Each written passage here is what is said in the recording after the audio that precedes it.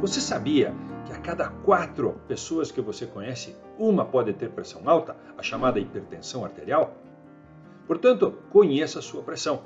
As doenças associadas à pressão alta incluem as doenças cerebrais, principalmente o derrame cerebral, as doenças vasculares, as tromboses vasculares, as doenças no coração, como por exemplo o infarto agudo do miocárdio, e as doenças renais, com perda de função renal e mesmo diálise. Há algumas medidas úteis para controlar a pressão ou para evitar que ela suba.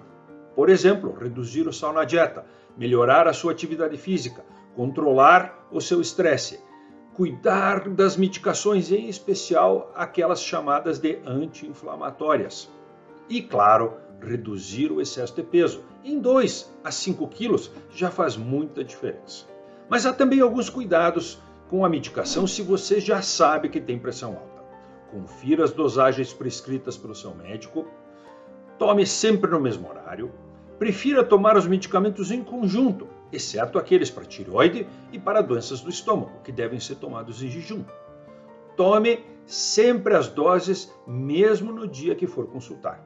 E claro, avise a sua equipe de saúde se tiver algum efeito inesperado. Melhore a sua qualidade de vida cuidando bem da sua pressão alta, da diabetes, do excesso de peso e do colesterol elevado. Mas cuide também das suas amizades e do lazer. Assim, você estará cuidando muito bem da sua pressão arterial. Até outra ocasião.